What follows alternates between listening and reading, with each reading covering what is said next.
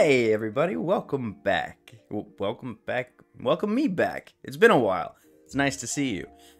I wanted to make a video about figuring out whether or not you need a Linux certification. And this is something that's come up because I've been busy starting a new job. And in my new job, uh, I work with Linux every day. And I think this is pretty common the higher you get in IT.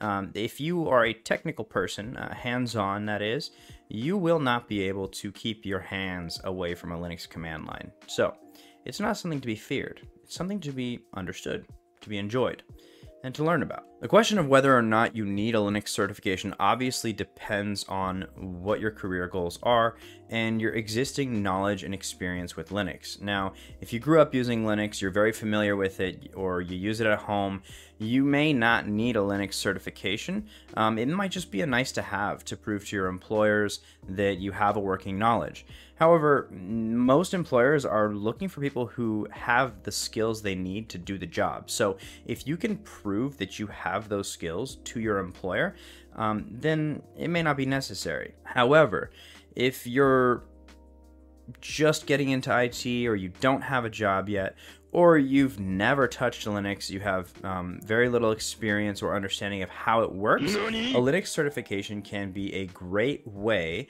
to establish foundational knowledge and understanding of a different operating system. Now, I'm using the term Linux very loosely in this video. Um, as you'll come to understand, there's many different distributions of Linux, which are different expressions, different configurations, different flavors. Um, they're referred to as distros for short. Now, the first major point in favor of getting a Linux certification if you feel like you are not beyond that level already. Over 9,000! Certifications are better than education. And the reason is is because certifications are standardized. And so somebody could have a computer science degree and have uh, huge holes in their knowledge in certain areas. Um, also, you could have 10 different candidates for a job that all have the same degree, but have totally different levels of understanding and knowledge in different areas of computer science or information technology. So I think from an employer perspective, when they see a certification, they know that you know at least this, right? But if they see a degree, they're like, okay, he has a shotgun shell approach, like a spattering here, a spattering there, and there's not really any way for them to know what you really enjoyed, what you were good at, what you focused on. Um, you could have spent all your time coding in JavaScript, and they need you to know C sharp. So, you know, it's it's it's really the standardization of certifications. I think makes them more valuable to employers. The most valuable thing to employers is experience. Now, that's another topic. The second point in favor of getting Linux certification is simply that Linux is everywhere. If you haven't encountered it yet, you are definitely going to. Um, now, as far as desktop environments go, only about 3% reportedly of the world's desktop computers are running Linux. So, to the average person, they might not even know what Linux is, they have no idea uh, how prolific it is. But once you get into the IT world, you start to see that under the hood, tons and tons and tons of devices are running Linux. Billions and billions and billions and billions and billions and billions. For example, 96% of the world's top million web servers run Linux. So we're, we're powering Facebook, we're powering Wikipedia, we're powering all of these web applications with servers that run Linux operating systems. Um, not only that, but if you consider Android, which uses the Linux kernel, that's about 70% of the world's mobile phones are running Linux. And uh, in terms of developers' preference, over 50% of developers actually do use Linux desktop environments. So, if you're looking to become a developer, if you're looking to get into IT, if you're looking to get into cybersecurity, you definitely need to learn Linux. It's going to come in handy. There's an article that I'll link down below that gives a little more breakdown of how prevalent the Linux kernel is and Linux distributions and how it shows up in different ways. One other one is the Chrome OS is actually just a Chrome browser interface based on the Linux kernel.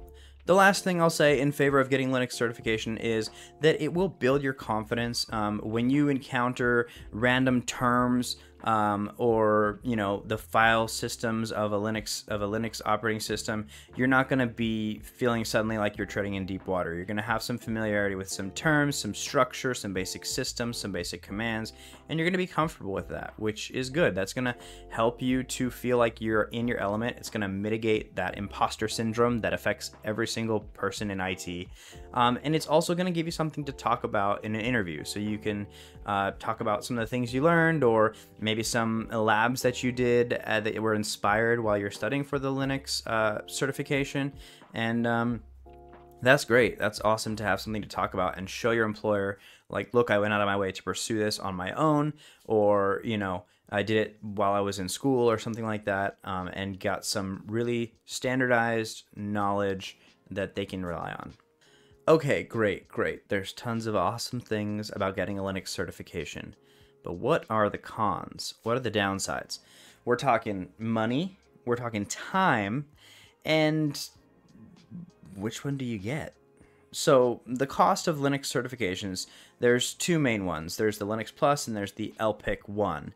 Now, question of which one you should get, I'm going to cover in another video, but basically the cost ranges from about $300 to $400 and that's not cheap. However, if you really, really want this and you think you need it, um, there's plenty of ways to figure out how to afford it. Um, you could simply save up if you have a job, or if you live at home and you don't work, maybe you're still in school. Um, try to convince your parents. If they're supportive, I'm sure that they would be happy to invest in your future.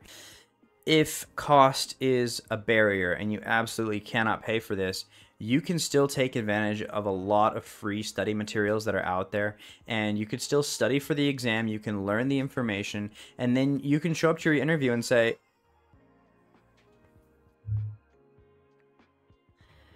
if cost is a barrier that you simply cannot overcome then what you could do is you could still study for the exam. You could learn all the required materials to pass and then just show up to your interview and be like hey i wasn't able to take this um, due to financial restrictions, but I know everything on this exam and I would be happy to prove it to you.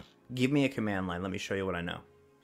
If you show up with that kind of confidence and you truly have the knowledge, uh, you're going to impress your employers. Again, they don't really care about the pieces of paper you have to your name.